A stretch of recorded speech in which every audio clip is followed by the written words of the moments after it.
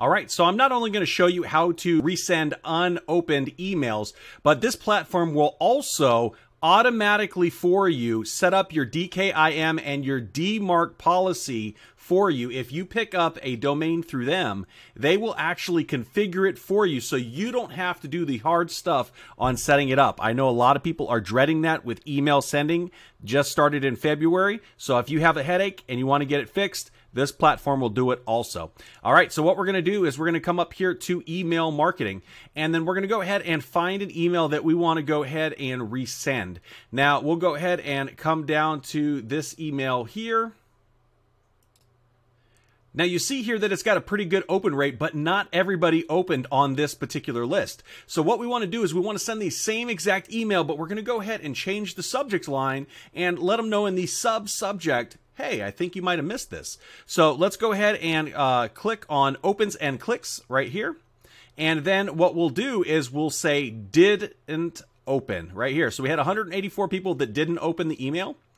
And so we'll go ahead and create yes, create a new message.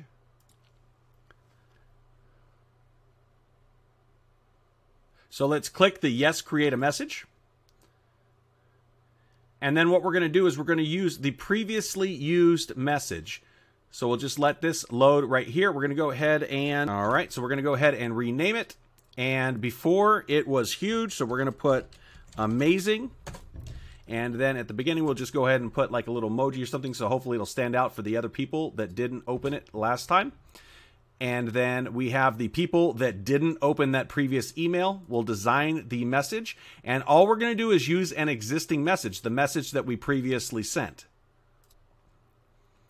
All right, so this is the message that we sent. And if you were a little bit more organized than I was, then you would have titled it so you would know exactly what it is, like this one here. So we're going to go ahead and use this template. And it's the exact same message and we're just going to go ahead and resend it. So we can just click next and resend it. But what I'm going to do here is I'm going to go ahead and put at the top, think you might have missed the first one.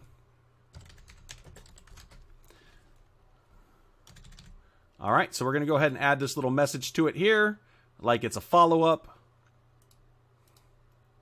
Okay, let's make it a different color so they don't think it's a link.